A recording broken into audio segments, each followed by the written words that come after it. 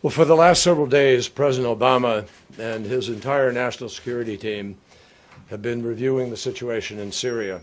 And today I want to provide an update on our efforts as we consider our response uh, to the use of chemical weapons. What we saw in Syria last week should shock the conscience of the world. It defies any code of morality. Let me be clear. The indiscriminate slaughter of civilians, the killing of women and children and innocent bystanders by chemical weapons is a moral obscenity. By any standard, it is inexcusable, and despite the excuses and equivocations that some have manufactured, it is undeniable. The meaning of this attack goes beyond the conflict in Syria itself. And that conflict has already brought so much terrible suffering. This is about the large scale, indiscriminate use of weapons that the civilized world long ago decided must never be used at all, a conviction shared even by countries that agree on little else. There is a clear reason that the world has banned entirely the use of chemical weapons. There is a reason the international community has set a clear standard and why many countries have taken major steps to eradicate these weapons.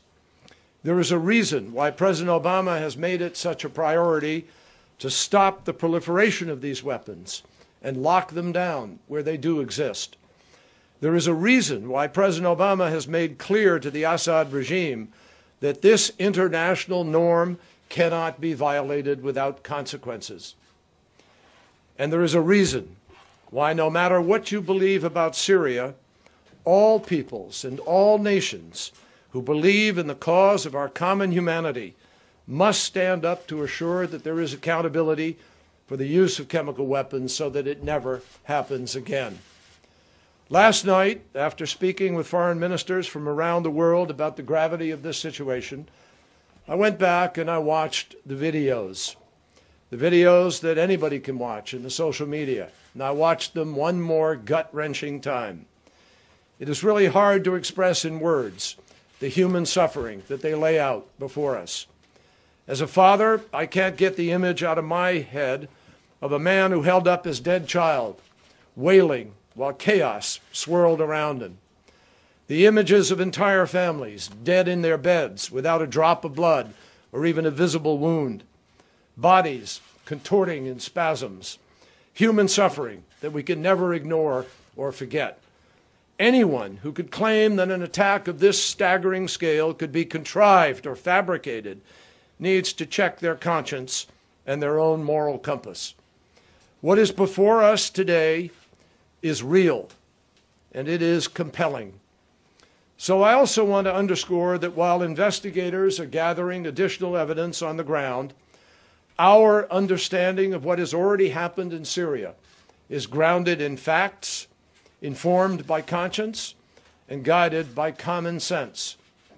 The reported number of victims, the reported symptoms of those who were killed or injured, the first-hand accounts from humanitarian organizations on the ground like Doctors Without Borders and the Syria Human Rights Commission, these all strongly indicate that everything these images are already screaming at us is real, that chemical weapons were used in Syria.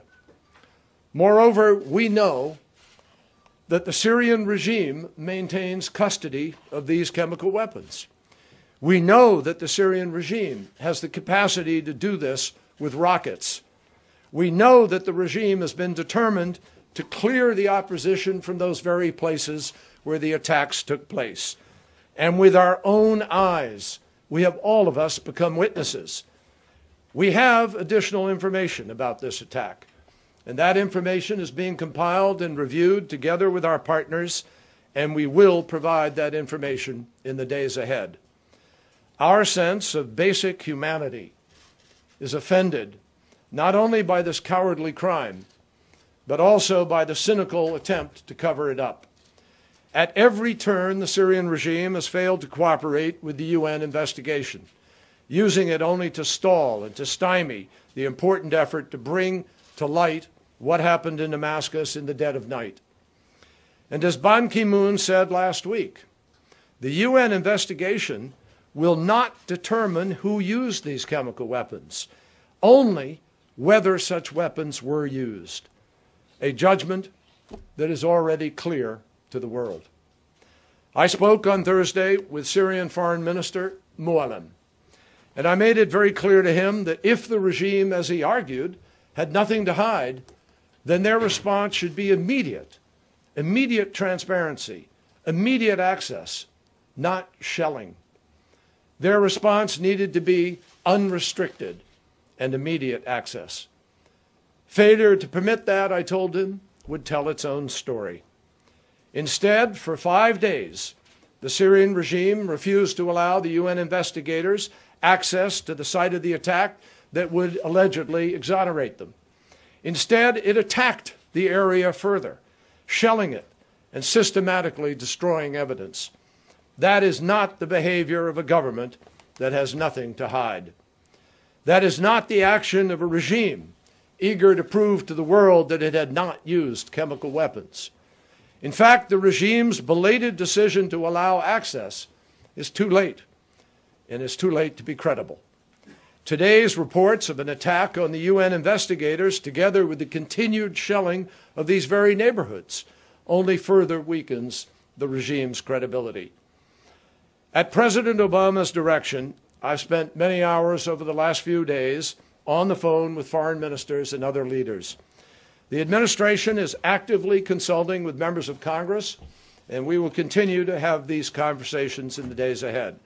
President Obama has also been in close touch with leaders of our key allies, and the President will be making an informed decision about how to respond to this indiscriminate use of chemical weapons. But make no mistake, President Obama believes there must be accountability for those who would use the world's most heinous weapons against the world's most vulnerable people. Nothing today is more serious, and nothing is receiving more serious scrutiny. Thank you.